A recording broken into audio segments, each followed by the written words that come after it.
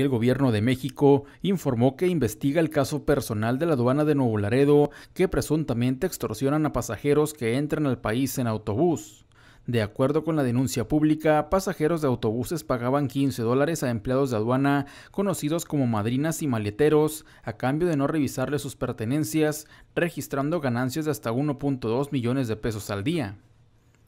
El director de comunicación del Servicio de Administración Tributaria, Carlos Popoca Laguna, envió una carta al periódico El Horizonte de Monterrey en la que refiere que se abrió una indagatoria y que un funcionario ya renunció por este motivo, según refiere este medio de comunicación en su portal. El comunicado de la Secretaría de Hacienda no especifica el nombre del funcionario que renunció ni aclara si se le imputarán cargos por corrupción. Ciudadanos regiomontanos que utilizan con regularidad el servicio de transporte hacia Estados Unidos afirmaron que el cobro de extorsiones es añejo.